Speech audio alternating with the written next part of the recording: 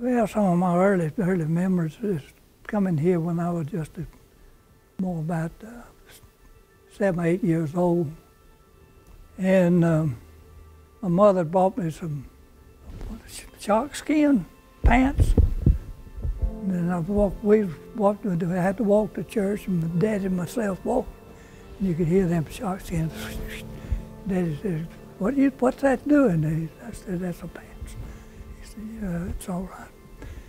But anyway, we come here, and, and, and the old church, you, if, if you attended Sunday school, they had wires across the, in, the, in the church where you could pull the wires and the sheets and have classes meet in, in, in the, that way because you didn't have, that's, that's the only way you had, you didn't have individual places for different classes to meet at the time.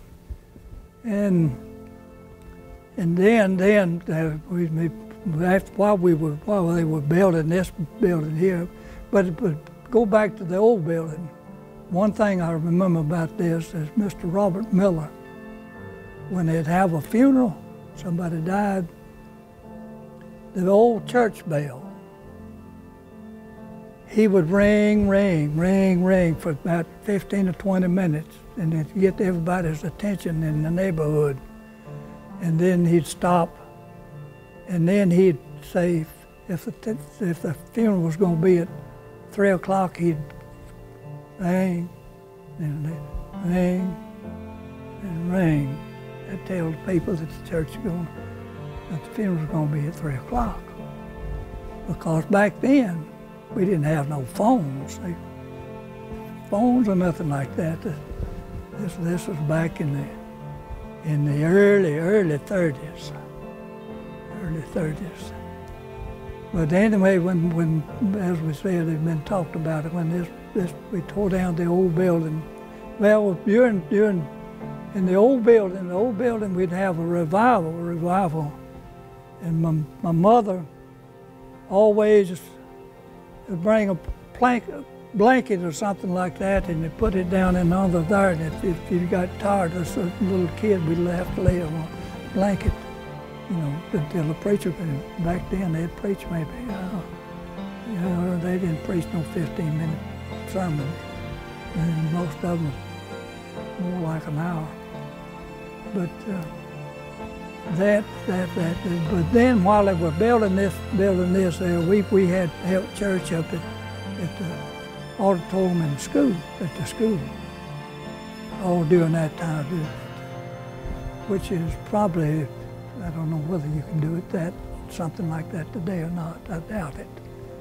But then that, that was that was the very thing, and we had great services up there, great services. And I can remember when, when they have a revival that, that the people, especially there was one of Miss Head. Miss Head, she would pray the, the oh, madam, she did pray to heaven down. And, and, and then that, I mean, usually we usually have, after baptism, it'd be at least 10 or 15 people that accept Jesus Christ. And I was one of them. I never met. I, I was baptized in the creek down there on Beaver's Creek, and there's a Rogers hole. And uh, I remember walking in, walking in, you had everybody's holding hands, walking in, and then they baptize you, and you, you get you come on back out. And nothing like that. And I've, I've, I've been here, been here, I've I had to go in the service in 49. That's when, during, during the World War II. And I was for, for a time, for a period of time in, in the early 50s, something like that, I wasn't, I wasn't here. We, the wife and I moved back here in, in 61.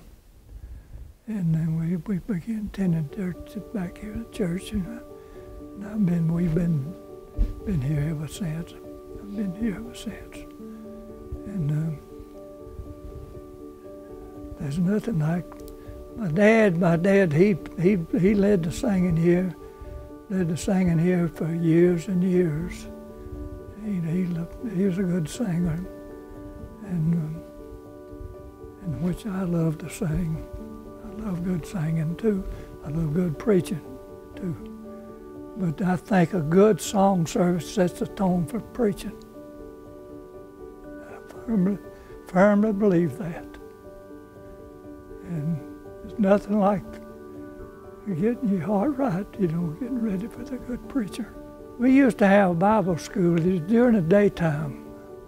And usually, usually, usually when the crops were all laid by, because uh, everybody, when my, in my growing up, I, I worked in the fields all the time. And uh, when the crops were laid by, then we could, we could come and have Bible school. And then uh, I remember that uh, usually at, at little, after we have a little playtime, play period, and us boys, we'd have a have some horseshoes, and we'd pitch horseshoes. And uh, I never will forget, I, we was pitching out there, and, I, and somebody hollered, and this boy was standing over the side, and I pitched, and, and as I left the horseshoe to go, he'd run into it and hit it upside the head. I Never will forget that. Thought I thought sure it hurt him real bad, but he he, he survived. and, and they had the old old well out here. Everybody congregate to draw water, and, you know, and sit. It had a cover over it, and sit and sit there and draw water and talk and meet there and things like that. The mules and the wagon, well, they always, they, they, they, they, you, you either walked, if you had a mule and a wagon, you could, you, they, they'd bring you to church and then they'd, they'd pull up to a tree and they'd tie them down. I, I never will forget the, the, the reeds, they, they had this one place that they tied theirs down. For some reason or other, they got loose and they took off and, and, and, and, and they, they just went across by themselves, went on and went on and went went right up to the to their house, right up to the barn out there, and that's when they, that's where they found them right there. They had to walk, but they, they found them right at the barn.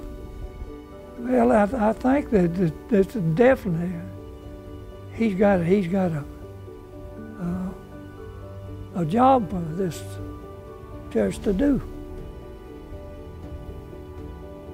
and and I think as a whole, most of the time we've they've fulfilled that that job that he set out for them to do, and that is to get in, get people in, get in him, and get involved in in church and get them to where they're, they're one of the uh, God's people. And there's nothing like that. Having a good a good, good church family. There's nothing, nothing any better than having a good church family, except maybe your own, your own immediate family. But there's nothing like a good church family, where everybody loves one another helps one another. And it's always, always been with custom here when people had had problems here. I remember that this this, this fellow he he'd made a crop, made a crop, and he's got sick, and we we went and gathered his corn and everything, and you, you do things like that. They'd have a uh, back then most houses were have had uh, uh, wooden shingles, shingles, and you'd have maybe the house start leaking, and they'd have a, a day for come in and the people would come in and and the women would come in and cook, cook dinner for them. They'd get up there and sing over my person's house. And that's, that's the kind of fam, kind of this, this area here. That's, that's, that's what I like about it. There's nothing like, nothing like a good church service and nothing like being, uh, having a good revival where you, you can feel the, the word of Lord speaking to you. My, my. There's nothing like that. That's, that's what we need is a good heaven sent revival. Everybody needs. We need revived, David.